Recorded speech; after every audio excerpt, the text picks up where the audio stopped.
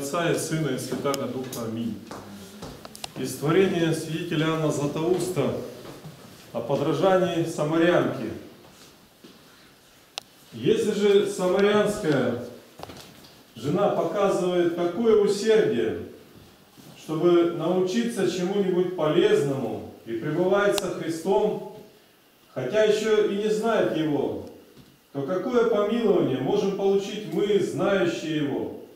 И притом, находясь не на источнике, не в пустыне, не среди дня под палящими лучами солнца, но в утреннее время, наслаждаясь под этим кровом, тенью, прохладою, и при всем том, не имея терпения выслушать что-либо из Слова Божия, тяготясь этим, не такова жена самарянская. Она так увлекалась словами Спасителя, что и других призывала к Нему. Иудеи же не только не призывали других, но и желавшим прийти к Нему препятствовали и не дозволяли. Поэтому и говорили, уверовал ли в Него кто из начальников или фарисеев, но этот народ невежда в законе, проклят он. Итак, будем подражать самарянской жене, будем беседовать со Христом. Он и теперь среди нас предстоит и говорит к нам через пророков и через учеников своих. Будем слушать и повиноваться. Доколе мы будем жить напрасно, без пользы, не делать угодно Богу действительно значит жить напрасно, или лучше, не только напрасно, но и во вред себе.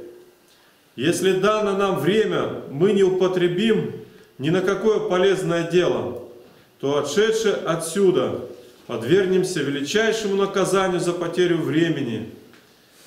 Если получивший деньги для торговых оборотов и потом истративший их подвергнется ответственности пред верившими их ему, то уже ли не понесем наказание, не понесет наказание, истощивший эту жизнь напрасно?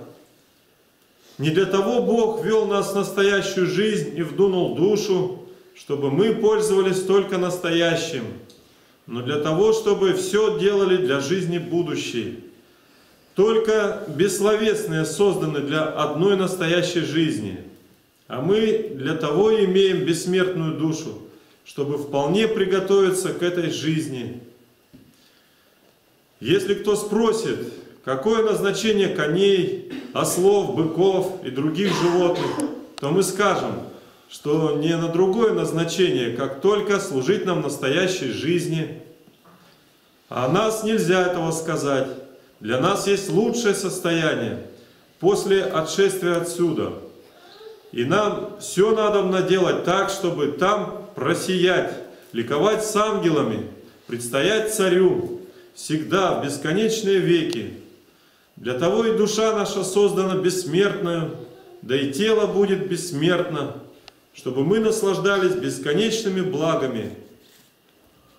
Если же ты пригвождаешь себя к земле, тогда как тебе предложены блага небесные, то подумай, Какое в этом оскорбление для дарующего их?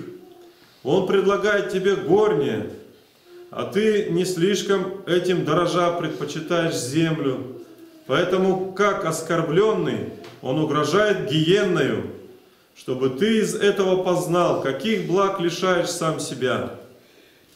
Но да не будет, чтобы мы подверглись этому наказанию, но, благоугодив Христу, да сподобимся вечных благ, благодатью человеколюбием Господа нашего Иисуса Христа, с которым Отцу со Святым Духом, слава во веки веков. Аминь. Божьей милости буди ко мне грешному. Создал меня, Господи, помилуй. Без числа, Господи, я согрешил, помилуй, прости.